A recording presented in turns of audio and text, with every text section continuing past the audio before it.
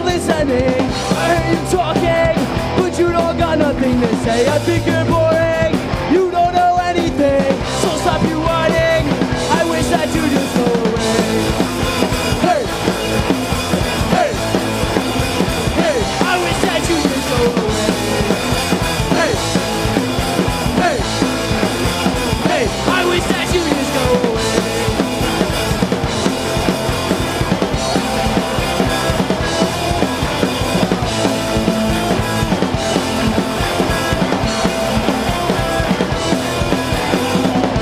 Jesus